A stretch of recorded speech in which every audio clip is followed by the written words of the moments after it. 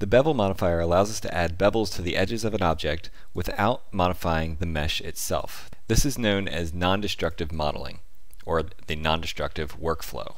It's called non-destructive because the modifier can be turned on and off at will, or modified without actually changing the mesh underneath your object.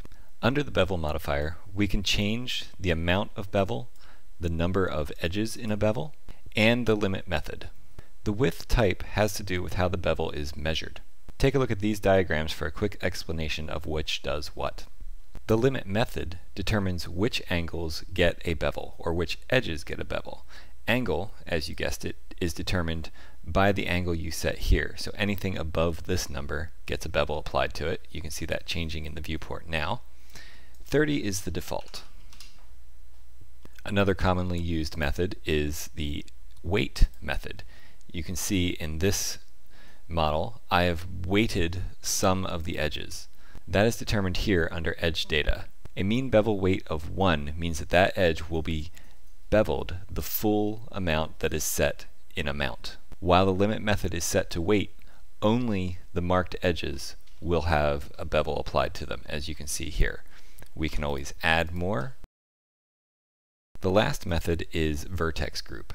This would determine which edges to be beveled by which ones belong to a particular vertex group. So if we change it to vertex group, you would select your group here, which you've created already. Under profile, there are two different methods to determine the profile of the bevel. Super ellipse is the default. The number under shape determines how much of a bevel or what direction the bevel faces. So going to zero would be an inverted bevel, which you could change kind of a curve on the interior. 0.5 is the default and most used. The other profile type is custom, and you would determine the shape of your bevel using this curve.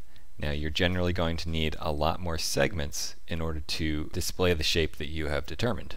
The geometry section under the bevel modifier has to do with our corners and edges and how they are handled. The outer and inner miter has to do with the way corners intersect. For instance, sharp is the default, but if we were to change to patch, you'll see that the corners are handled slightly differently. Arc is still different, and the inner and outer have to do with inner and outer corners. For instance, if I change the inner to arc, you'll see that these corners are arced on their intersections. This is more obvious if I were to turn the amount of segments up. If you were to add a subdivision surface modifier to this and change shading to smooth, you might see some shading uh, anomalies. So if we were to change this to be very narrow, you'll see that some things just don't look right around some of these, these corners.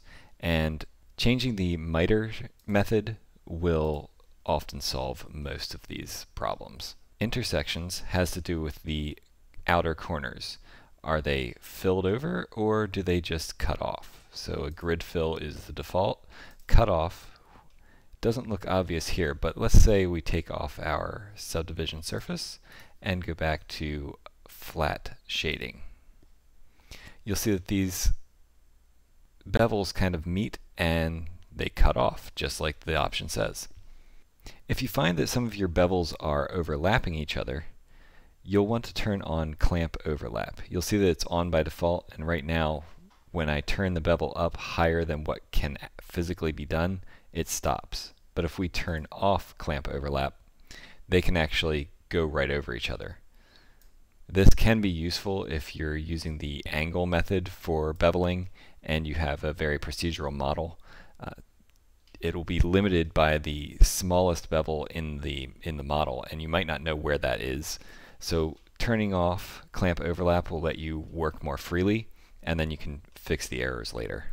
The loop slide option when turned on on a more complex mesh than this will keep your bevels more uniform. Uh, it'll, it'll slide these bevels along your existing edges. If you were to turn on auto smoothing, you'll see that there are a number of options within this modifier that affect shading. So under the shading portion here, we can harden normals or choose not to. We can also choose to mark any beveled seam as a UV seam by checking this box, or mark them as sharp as well. So those you'll have to experiment with depending on what your shading is looking like on every particular model that you're using. You'll find the number of modifiers are able to use different material indexes or indices. Uh, this will allow the beveled section to have a different material than the rest of the model uh, by choosing which material index number is set here. How do you determine what material index number corresponds to which material? Well, that's pretty simple actually. Negative 1 is simply the default and that is automatic. In my experience, that is the same as zero. Let's head on over to the materials tab and you'll see that there are three materials assigned to this object. If we go into material preview, you'll see that material zero is what I have assigned and since these are not assigned to anything in the mesh, they're not showing up. However, you'll see that I named them 0, 1, and 2. So let's remember those numbers and come back here to the modifier tab. If we were to change this to 0, our bevels are still the first material in the stack. If we change this to 1, it corresponds with the next one, to the next one, so on and so forth, depending how many materials you have in your material stack. There is one more option under the shading section, and that is face strength. This has to do with weighted normals, and that is to be used in conjunction with the weighted normals modifier that can be found here. And one thing that we may have overlooked right here in the beginning at the top is the ability to bevel vertices or edges. By default, it's edges. Vertices is an option, however, I'm not sure where that has a use. If you have a use case in which beveling vertices is useful to you, please comment down below. I have never run into a situation where I wanted to do this. However, there it is. There are a few common scenarios in which your bevel might not be working the way you expect it. Uh, number one is to look for vertices that are not connected. If we tab into edit mode on this and turn off our subdivision surface, we can see that there's some strange shading here going on even without the subdivision surface. And looking at the vertices, you can uh, move them around and see that uh, here they are not uh, connecting up. What you can do to solve that is if there is just one section, one instance, select one of the vertices and then select the one that is in the correct position and hit M for merge and you can say merge at last.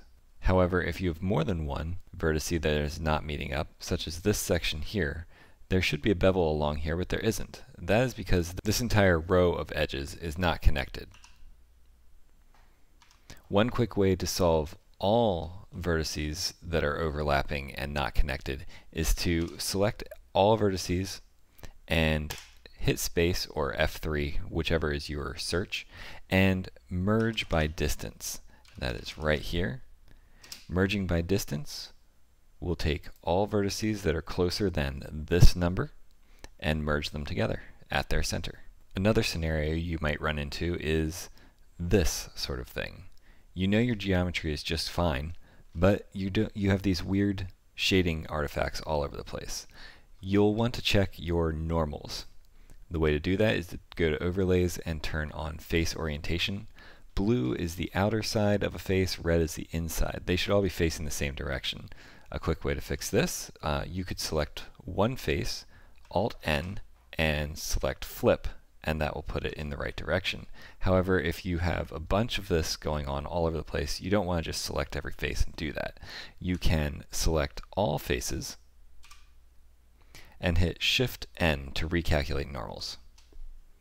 Problem solved. And there it is, you have mastered the bevel modifier. As always, if you found this video helpful, please like, comment, subscribe, turn on that notification bell, and I will see you in the next video. I'm Karl with Blender Forge. Happy blending!